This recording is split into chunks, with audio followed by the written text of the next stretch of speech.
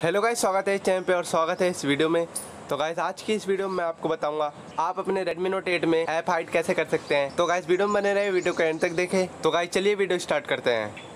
तो गाइस सबसे पहले आपको अपनी मोबाइल फ़ोन की होम स्क्रीन में आ जाना है। होम स्क्रीन में आने के बाद गाइस आपको अपने फ़ोन की सेटिंग ओपन कर लेनी है। फ़ोन की सेटिंग ओपन करने के बाद गाइस आपको स्क्रॉल करके यहाँ पे आ जाना है, जहाँ पे आपको एप्स का ऑप्शन देखने के लिए मिलेगा। आपको उस पर क्लिक कर लेना है। क्लिक करने के बाद गैस आपको नीचे की साइड ऐप लॉक वाले ऑप्शन पे क्लिक कर देना है। क्लिक करने के बाद गैस आपको ऊपर की साइड हिडन ऐप का ऑप्शन देखने के लिए मिलेगा। उसके बाद गैस आपके सामने जितने भी गैस आपके फ़ोन में ऐप होंगे, वो आपके सामने आ जाएँगे यहाँ पे। उसके बाद गैस आपको जो भी ऐप हाइड करना है, उस ऐप के राइट साइड आपको बटन देखने के लिए मिलेगा। आपको उस पर क्लिक कर लेना है। आप क्लिक कर दोगे तो गाइस वो बटन नीला हो जाएगा और आपका ऐप हाइड हो जाएगा।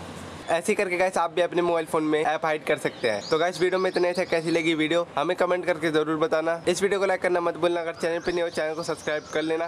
क्योंकि गाइस मैं ऐसी इंटरेस्टिंग वीडियो और नॉलेजेबल वीडियो इस चैनल पर लाता रहता हूँ। तो गाइस चैनल को ज़रूर से सब्सक्राइब कर लेना। और गाइस मैं मिलूँगा ऐसी इंटरेस्टिंग वीडियो के साथ नेक्स्ट वीडियो में। तब तक लगाई जय हिंद, वंदे मातरम।